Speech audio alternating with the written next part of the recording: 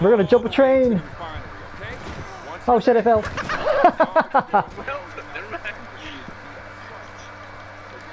Dude, he's telling the story I can't hear him anymore. you okay? He should. no, I'm with the player. That's so stupid.